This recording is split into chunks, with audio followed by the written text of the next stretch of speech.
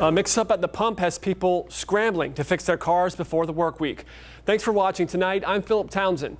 Well, we broke this news Friday night. First the Sam's Club in Chesapeake, then the one in Virginia Beach, and then a Costco in Norfolk. They all had diesel coming out of the regular gas pumps. 13 News Now reporter Meghan Puryear found out what to do if it happens to your car. Philip, getting gas at a station just as simple like this, it seems like a simple everyday thing you wouldn't think about, but if you get the wrong gas inside your car, it could cause serious internal damage.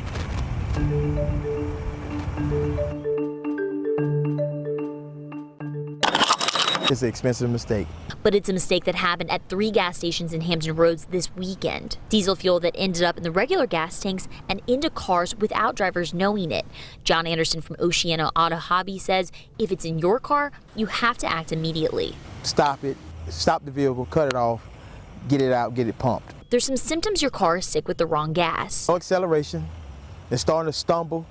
Uh, it's probably gonna kill all the spark plugs. You know, you ain't gonna have no power. You just wonder what happened why it died down or why it's dying. And it's not as easy as you'd think to save. When you put gas in, that's why it don't spill out because it's a, a, a ball that sucks up. So it's hard to get it out now. You almost got to drop the tank. And there's no set price on a fix. It could be relatively expensive or it could set you back an entire paycheck. Three to five hundred dollars. Somebody with a newer vehicle, it can go, you know, five to fifteen hundred dollars because it's a process now. It's, it's, it's, it's more things you got to do just, just to get this fuel out.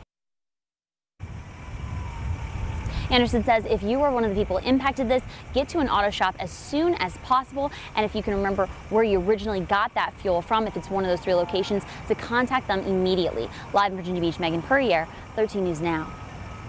So did this mix-up affect you? If it did, we want to hear from you. You can reach out on social media. Just follow us, 13 News Now.